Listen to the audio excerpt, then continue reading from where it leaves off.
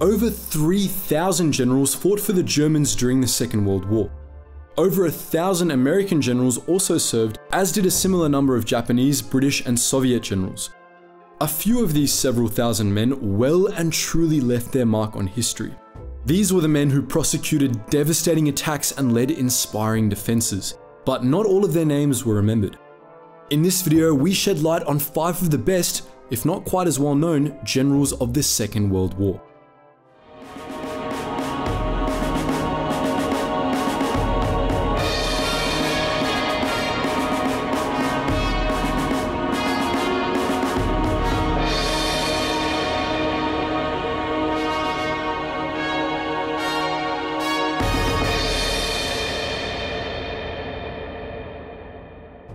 In early 1941, Soviet High Command had so few experienced commanders that they released an officer imprisoned for treason. By 1945, this officer was a marshal of the Soviet Union and he personally led the victory parade in Moscow. His name was Konstantin Rokossovsky. Rokossovsky began his career similarly to Zhukov in that he served with distinction in the Great War, then in the Civil War on the Bolshevik side. He later became fascinated by Marshal Tukhachevsky's visionary ideas on mechanized warfare. But when the Marshal was purged in the Great Terror, Rokossovsky's fascination got him imprisoned. After the disastrous Winter War of 1941, Rokossovsky was reinstated to fill the need for experienced commanders. He excelled, and his 16th Army bore the brunt of the fighting in the defense of Moscow during Operation Typhoon. Stalin was impressed and gave Rokossovsky command of the Don Front at Stalingrad. The Don Front helped to encircle the Germans inside the city and was responsible for crushing 22 divisions during Operation Ring. Rokossovsky went on to command the Central Front in the Battle of Kursk where he defeated the Germans again. His forces pushed on and the general played a key role in Operation Bagration. The Germans soon began to fear Rokossovsky, nicknaming him General Dagger. Opposing Rokossovsky were several German generals, and one of the best was Walther Model. Model had humbler beginnings than most of the German high command. He wasn't an aristocrat nor did he have Prussian lineage. He was simply very good at his job. Model commanded units during the invasions of Poland, France, and the Soviet Union and these campaigns earned him a reputation as a hard-hitting field commander. His loyalty to the Nazi party propelled him further, and by 1942 he commanded the battle-hardened 9th Army on the Eastern Front. A master of defensive warfare, Model became Hitler's fireman. When others believed the position was lost, the fireman swooped in to save it. In the Battle of Kursk, for instance, he salvaged the collapsing German position after Rokossovsky's victory. Model became a field marshal in 1944 and fought the Allies in France after the Normandy landings.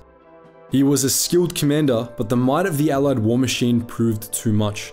After the failure of his offensive in the Battle of the Bulge, Model was surrounded. He ordered his troops to disband and committed suicide. Before Erwin Rommel was lionized as the Desert Fox, the title belonged to a British commander. This general was every bit Rommel's equal, scoring victory after victory in the Desert War. His name was Richard O'Connor. O'Connor took command of the Western Desert Force in June 1940. It was based in Egypt, a British protectorate, and comprised roughly 35,000 men and 65 tanks.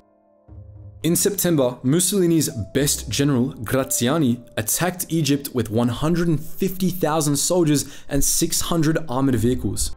He believed victory was assured, but O'Connor proved him wrong. O'Connor allowed the Italians to exhaust themselves with their initial thrust, then hit them on their northern flank. As part of Operation Compass, the Western Desert Force smashed through the Italian line and knocked out strong point after strong point via encirclement and isolation.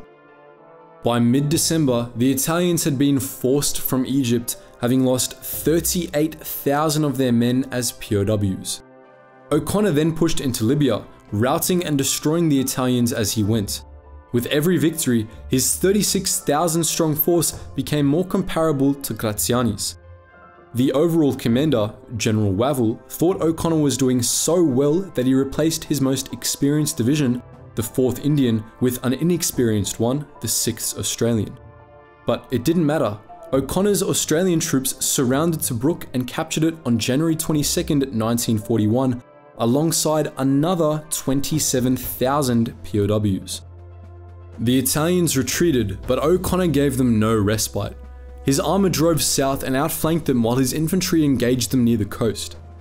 Within a fortnight, the main Italian base at Benghazi fell. With just 36,000 men, many of whom were inexperienced and ill prepared for desert warfare, O'Connor destroyed an Italian army numbering 10 divisions and took 133,000 prisoners. One British politician commented, Never has so much been surrendered by so many to so few. When Singapore fell, Winston Churchill described it as the worst disaster and largest capitulation in British history. But for the Japanese, it was a tremendous victory, a victory that belonged to Tomoyuki Yamashita. Yamashita served in a number of military and diplomatic positions in the years preceding the Second World War. One of these was in Germany, where he saw firsthand the devastation blitzkrieg tactics could inflict. Inspired, he returned to Japan and tried to implement new ideas and reorganize the Imperial Japanese Army. He was one of Japan's strongest proponents of mechanized warfare and wished to end the long running war in China. But politics got in his way. His ideas were seen as a threat by the heavily factional Japanese military establishment. On November 6, 1941, Yamashita was put in command of the 25th Army. This 30,000 strong force had high morale but was equipped with obsolete weapons. It had only one advantage, a large number of planes and skilled pilots. Yamashita knew that a drawn out battle in Malaya would place him at a disadvantage, so speed was the key. He launched his attack from bases in French Indochina. After rapidly overcoming Commonwealth garrisons, he mounted his troops on bicycles and used their speed to outflank the enemy. Commonwealth commanders were consistently surprised by his resourcefulness as Yamashita often directed his own men down jungle tracks they believed was impassable. When he reached Singapore, he bluffed the British commander, General Percival, into preparing for an attack on the wrong side of the island. Yamashita's men were exhausted and their supply lines were stretched to breaking point, but a rapid assault won him the battle. 80,000 Commonwealth soldiers surrendered to just 30,000 Japanese, earning Yamashita the moniker the Tiger of Malaya. But not all great generals began their careers before the war. Some had a generalship thrust upon them.